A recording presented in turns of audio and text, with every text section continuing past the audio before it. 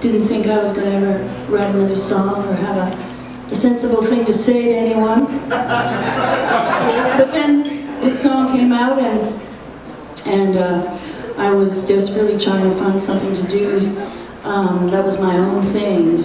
And uh, gardening seemed to, to be something I could do that, that was productive. But I could never get out because Sammy was always awake. Even at night he was awake. Um, so this is about me going, trying to get out to the garden and uh, getting out there finally, playing by the light of the moon.